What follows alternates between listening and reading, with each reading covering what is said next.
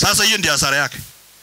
So kumaanisha pesa ya JSS out, pesa ya kuajiri walimu out, pesa ya hii UHC out.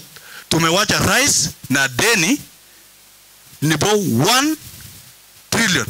Tayari deni ambayo Uhuru Kenyatta aliwacha ilikuwa 10.4 trillion. Ile Uhuru Kenyatta aliwacha. Sasa ukiongeza na hii na ile tumeombaomba inaelekea trilioni kumi na tatu. Nani atalipa? Lipa na aje chiku sabsoti agoi chen si kupeke agoi cha tumiki. That is the truth of the matter.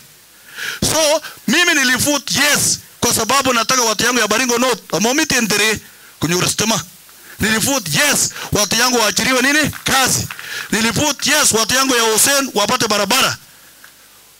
Nilifut yes because I want to save the country. I want Kenya to make progress, not to go back to the old days. Mnaniunga mkono nipige namna hiyo? Kusapkore nda nda mwameche kusapkore. Hata makwecha alende makala pendelea kupiga yes katika Kenya hii ndio tupone. Watu ya news watu wanasema yes yes yes yes yes. Asanteni sana.